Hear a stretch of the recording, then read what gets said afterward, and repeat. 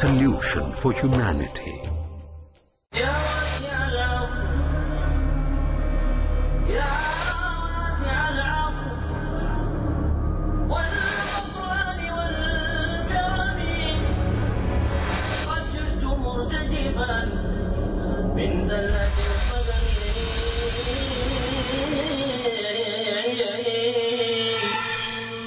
ذنبي عظيم آه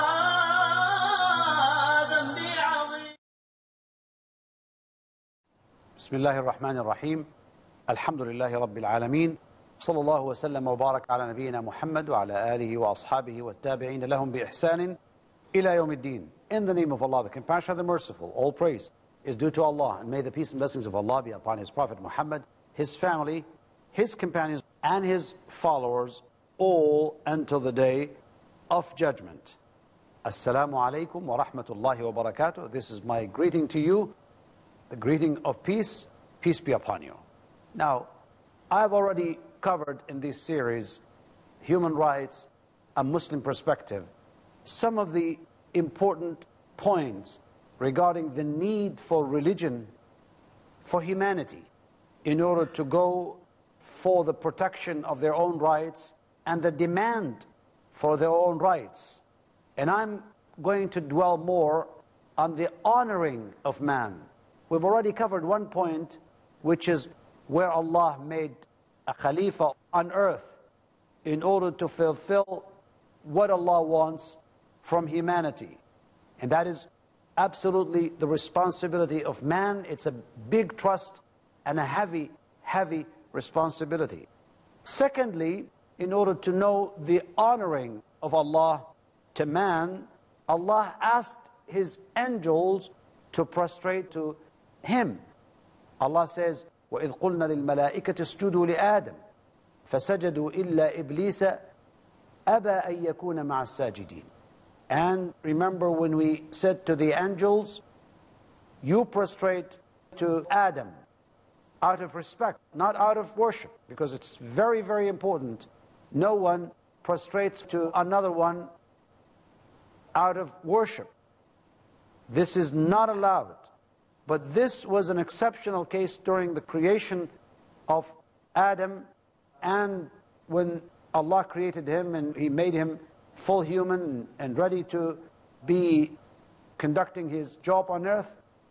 Allah asked the angels to prostrate to him out of respect, and they all accepted, except Iblis, the Satan, who did not want to obey this, and it was the first sin ever committed against Allah subhanahu wa ta'ala. Out of his own arrogance, he did not want to do it. And therefore, Allah subhanahu wa ta'ala took him out of paradise into this life, and he will be in hell at the end of life on the day of judgment.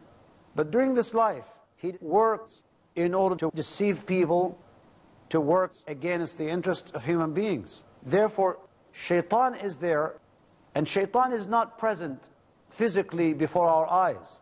He is present in our lives. But since he was from the jinn, he was from these creatures that we cannot see, but rather they will creep inside our hearts and minds. They will whisper into our hearts and minds. And therefore we need to be very careful of what they say because we will have that interest. Look, Allah created within man so many enemies.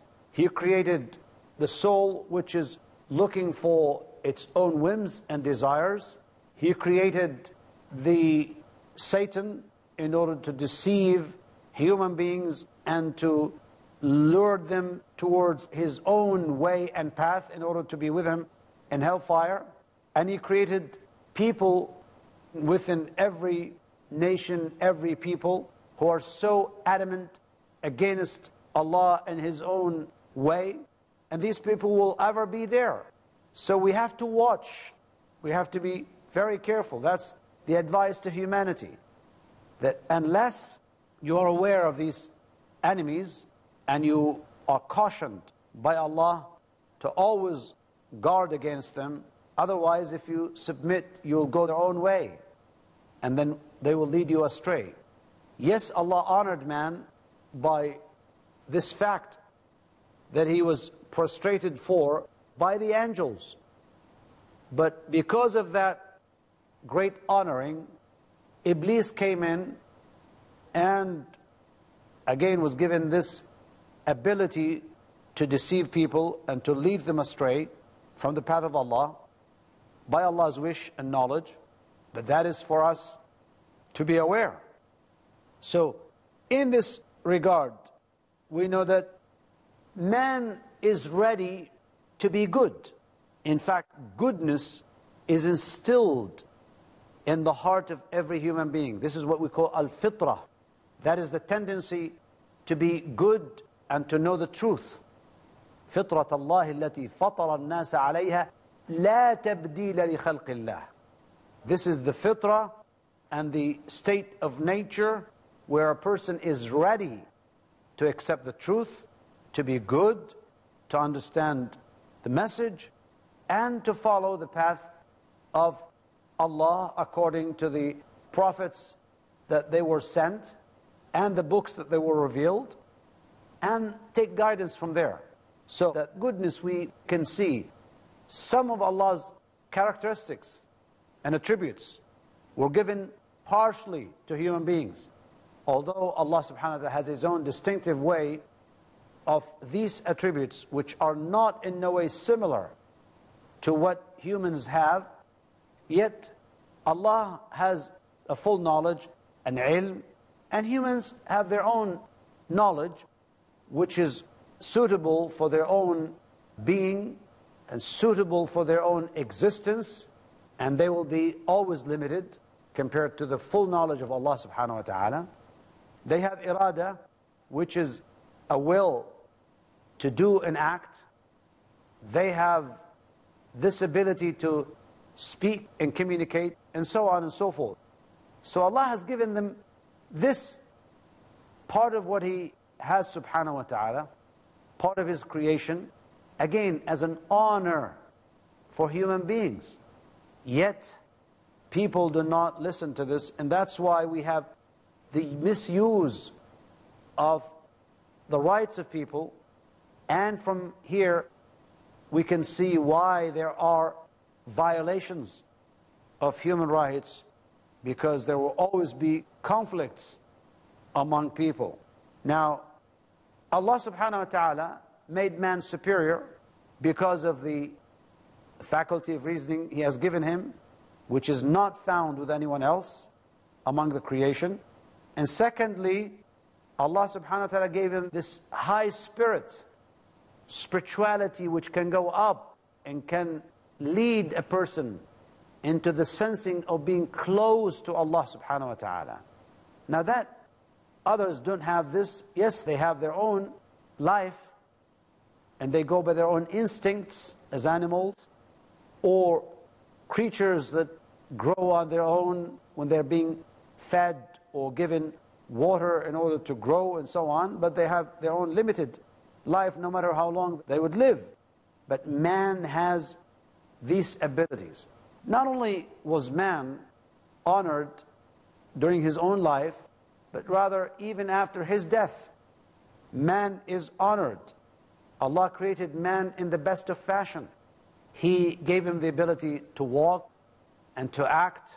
Yes, he may not have these powers that other animals may have, but he deprived them of the ability to reason, the ability to think, the ability to survive, like he gave to humans.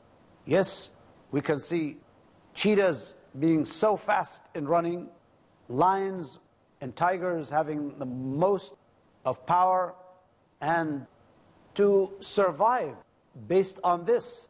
But he did not give them the reasoning and the mind and this combination of spirit and reasoning and other faculties that man only has.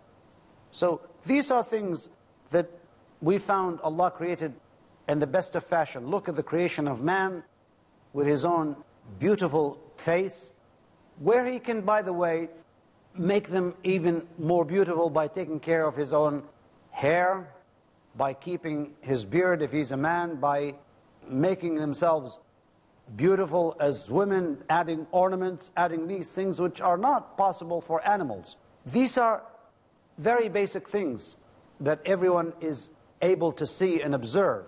But the most important thing is that Allah created us in the best form and fashion, and also at the same time gave us the ability to use everything in the heavens and the earth. All what you see in the creation was made for the service of man.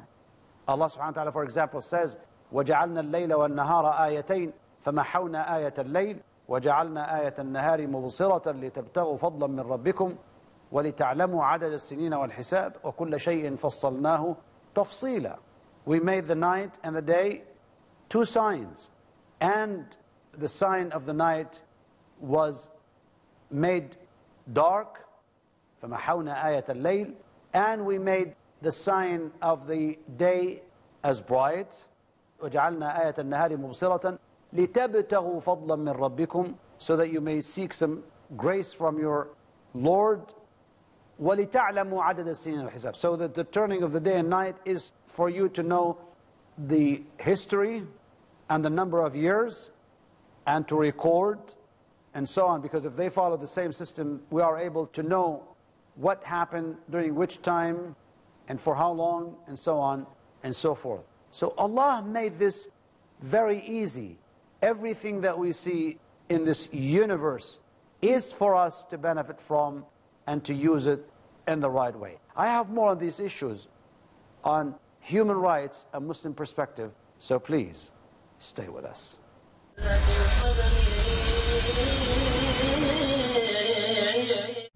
Thursdays provide. In Britain, we are facing one big problem that are you Muslim or British? The space to talk. In India, back home, they ask, are you a Muslim first or Indian first? And we Muslims should know how to reply, how to turn the tables over. The place to knock. Why Trinity cannot be regarded in that sense? Father, Son, and Holy Spirit. The opportunity to ask. But even if we agree that what the Christians say, that he was crucified, so if Jesus Christ, peace be upon him, died for three days, who controlled the world? That means even God died? The freedom to unmask. So there are various ways which we can prove the argument to be wrong. Let's meet Dr. Zakir every Thursday at 6.30 p.m. and repeat telecast at 9.30 a.m. UK on Peace TV. Learning simple, We protect the community. understanding easy. He is the just and he loves justice. Sheikh Salim Al-Amri If Allah is going to establish justice even between animals, how about human beings? Adoption fruitful. You hear the adhan and you pray. The Prophet ﷺ said the dividing line between Islam and apostasy is the prayer. Grasp and follow the basic tenets to stand firm on the path of Islam in Tips for Islamic Life every Saturday at 3.30 p.m. and repeat telecast at 2 a.m. UK on Peace TV. Islamic International School presents The purpose of creation is to worship Allah subhanahu wa ta'ala. precious presenters The moral excellence is one of the major objects of Islam. promising broods It is the belief in Allah. The Quran is the greatest miracle of Allah subhanahu wa ta'ala. If you are neglecting the rights of other people, then you are becoming immoral. An arrogant person will never enter the Jannah. Death is not the final destination. budding role models एक कम ब्रह्म द्वितीय नास्ते भगवान एक ही है दूसरा नहीं है नहीं है नहीं है जरा भी नहीं है Watch Dies of Islamic International School in Trendsetters every Thursday at 7.30 p.m. and repeat telecast at 10.30 a.m. UK on Peace TV.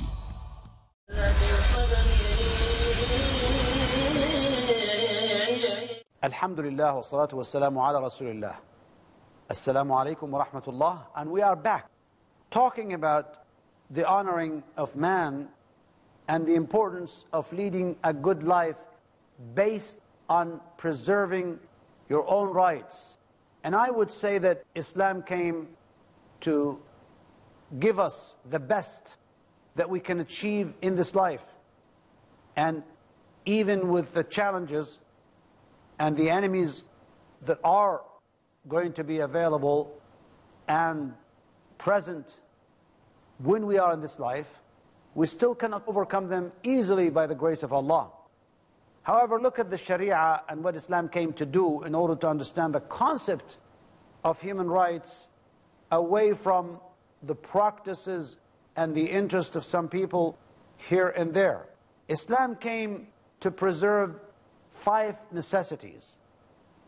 And these are the great interests ever, the great interests of man to preserve his religion, preserve his life, to preserve his mind and ability to reason, his own honor and lineage, and to protect his wealth and belongings.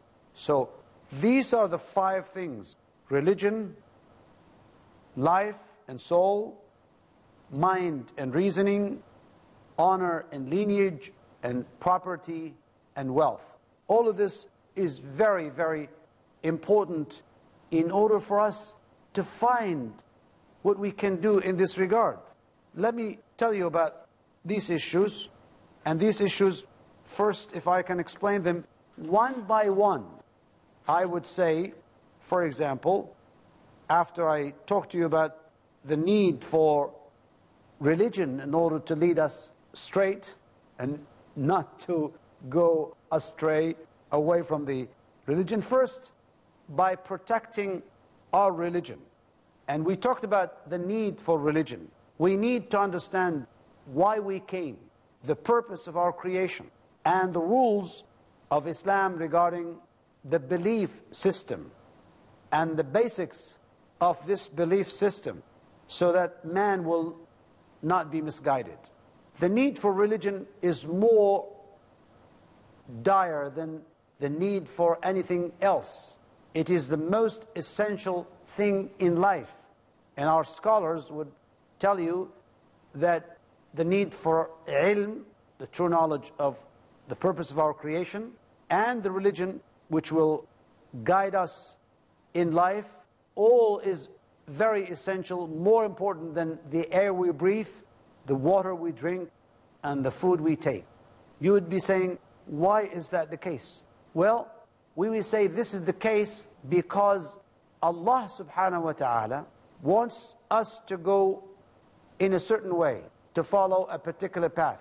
And if that is not the case, then what is the benefit of our life, even if we live years and years, but in misguidance and mischief, or only to serve our very basic needs, just like the animals. Animals would live to eat, drink, walk around, and to be used by man for his own services, but nothing beyond that. This is the case, unfortunately, for many people in this life. They would be born and they may face challenges. They need to be, of course, earning their own livelihood. They will go and work in a company or in a farm or in a factory or wherever. They would be finding a job that suits their abilities and circumstances, and that would be probably the end of their own aim, even if they go higher and higher in position and they live a certain way of life, even if it has all the luxuries. And then what? At the end, they'll be departing this world. They will be leaving to where they came from, and they will be buried, or their body will not be alive anymore. Is this the purpose of creation? Did Allah create us to produce all these people just to work on earth? And many of them, by the way, suffer lots of injustices. And they will be people with different levels of earning, of understandings, of talents and skills, and the level of the ability to reason. And the more some people are fortunate, They'll be leading a life, they may abuse others, they may take the rights of others, and most people will be the average or even below average. If you look around the world nowadays, you can observe for yourself. Now, of course, this is not the purpose. The purpose is to know why you were created. You were created for a greater purpose. Even if you do not have all the abilities to live a more happy and prosperous life. If you are given the right guidance, you'll find happiness inside your heart. Because many people, although they would have all the possible material gains in their possession and in their hearts, they're still not happy because they have vacuum inside their hearts. And they cannot fulfill it unless they know the truth, unless they take it from the guidance of Allah subhanahu wa ta'ala. Obviously, we know that if we are given the right faith and the right attitude, then obviously we need to lead our life according to the law of Allah. And if the law is being applied to us, then obviously we will go happy and we will enjoy. And the Sharia has created some deterrents in order to show these people that if you cross the boundaries, you will be punished. You'll be facing the consequences. So if they go by the law, they will live happily. If they transgress, obviously, they will pay for this transgression. Just like you live in any society. However, with Allah, it's justice. It's not according to people to inflict any particular penalty, but to say this is right and this is wrong. No, it has to be decided by the Creator, by the one who knows what is good for you and what is bad for you. What will prevent you from committing evil and what will help you to do good in this life. That's why we need religion. That's why we need to protect religion. That's why it is the right of every human being to have a life. But when they cross and they transgress against religion, which is the basis for being here to begin with, obviously they need to pay the consequences for this. And in order to save the whole community of believers and the whole humanity from destruction and the anger of Allah, if they do not abide by this religion. That's why we need to always do the right thing. Although, if we're asked to worship Allah subhanahu wa ta'ala, we know that we may have weaknesses, shortcomings, problems here and there, and that's why Allah has made it easy in the law that we can always take permissions. We can always take the easy way out based on what the Sharia asks us to do. It's not a stringent Sharia or law that will make us all feel that we are unable to perform what the Sharia wants from us.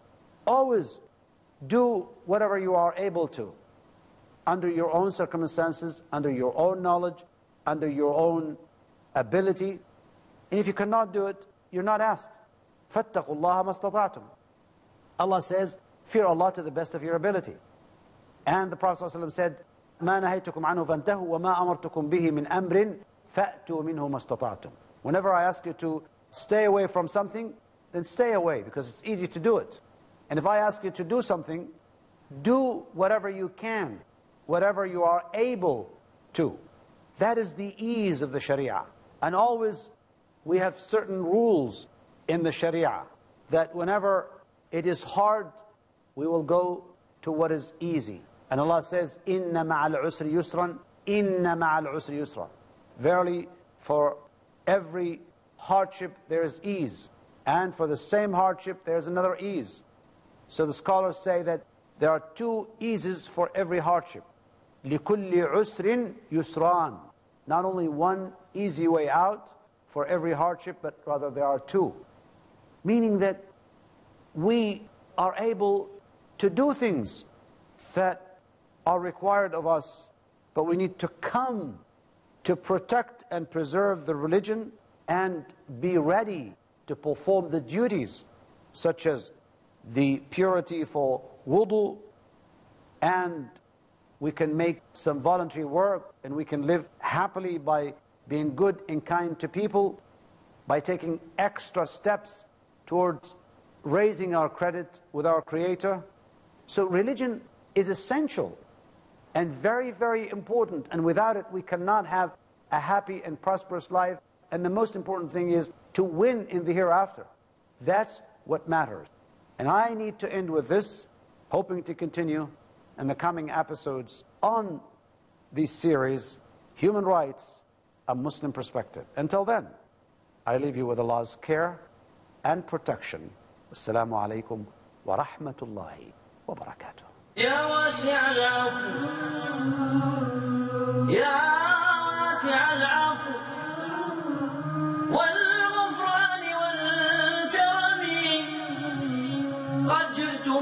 مرتجفا من زلة القدم.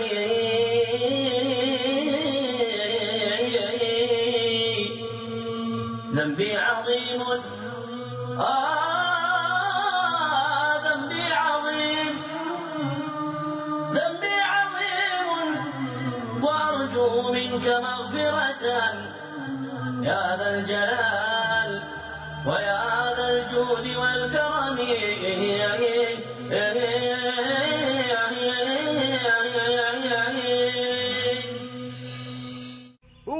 The first prophet? Was a prophet the first one to read and write? Did God speak to a prophet? A prophet in a prison. A prophet who commanded the birds, insects, and animals? Want to know more? Join us for Stories of the Prophet. Stories of the Prophets every Wednesday at 7:30 p.m. and repeat telecast at 10:30 a.m. UK on Peace TV.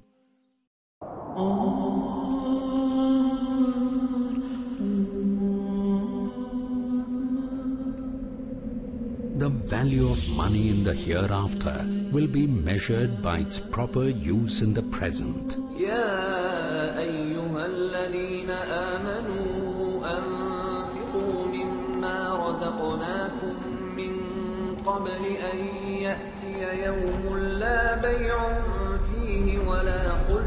ولا شفاعة According to the glorious Quran, one of the best ways to use your money is to spend it in the way of Allah subhanahu wa ta'ala by spreading His message of Islam. Peace TV is a non-profit Islamic satellite television channel that is primarily dedicated for just that cause, the proper presentation of Islam. It's a great choice to invest in it and a golden opportunity to purify your wealth in a way that pleases Allah subhanahu wa ta'ala. Support Peace TV. Send your zakat and donations to IRFI Al Rayan Bank, 47 Calthorpe Road, Birmingham, UK. B151TH. Pound account number 011323301. IBAN GB49ARAY 30008301 Sort code 300083. Swift BIC code ARAY GB22. Please confirm your contribution at support at peacetv.tv. Support Peace TV, the solution for humanity.